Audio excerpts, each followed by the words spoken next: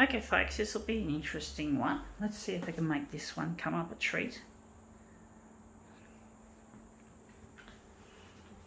It actually is quite a treat. I can't afford this kind of food and I can't cook it myself. Ha ha. Let's see how we go with this.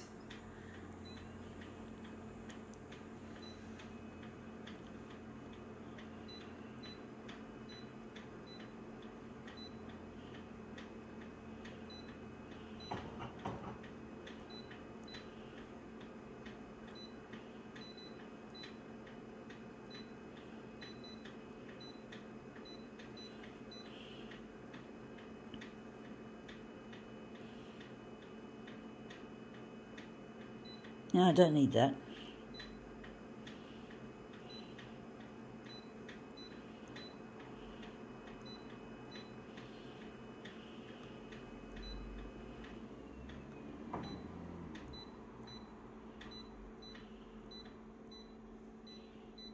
Okay, let's see what this thing is.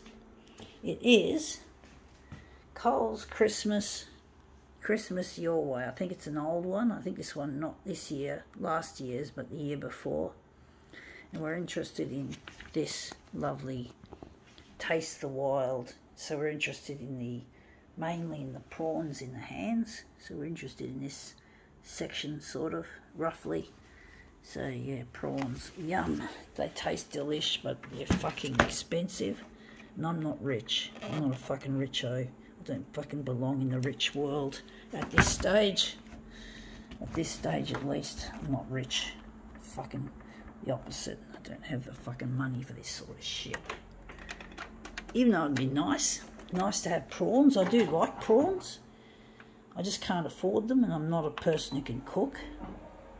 I don't have the money. I could get some. I, I get, I'm, I'm disabled, so I get the NDIS. I get someone to help cook my meals, but I don't have this sort of food. I'm not rich. I have to buy cheap stuff, like Coles branded food, rather than buy even Coles, Coles um, prawns would still be too expensive for me. So I can't afford that. Now that looks really quite nice. I think we can utilise that. Living within my means, folks, which is really difficult when you're an artist and you're trying to promote yourself and you're trying to get out there you spent more than a decade pouring your soul into this project, trying to get airplay, trying to get recognised for what I can do, not what I can't do, not what I'm disabled. Currently, the disability takes the hog of my life. It ruins everything. It, it fucks everything up. I know I shouldn't hate myself for being disabled, but I really feel it drags me under when I'm trying to concentrate on what I can do. It really does. I had a cord around my neck and I came out breech.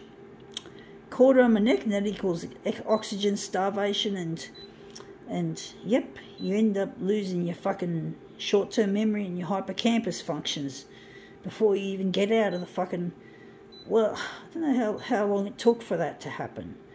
Mum used to tell me, keep telling me that I had a cord around my neck and I came out breech. And I wondered why I had memory problems even as a kid.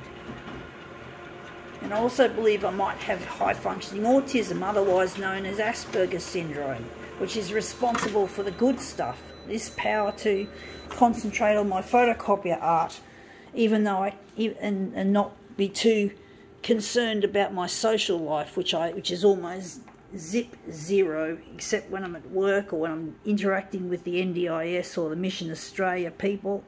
Uh, but I don't have an actual social social life, as in a proper social life where I actually have friends, actual friends, as opposed to people who help me. Uh, so, yeah, basically that's pretty much it in a nutshell. I don't have a social life. And I didn't celebrate New Year's Eve. This is the closest thing I can come to celebrating is to do my art. And that's come up looking quite a treat. I do wonder if we could do a switcheroo or if we're going to leave it like that. I think we'll leave it like that. That looks really good. I think we can call it quits.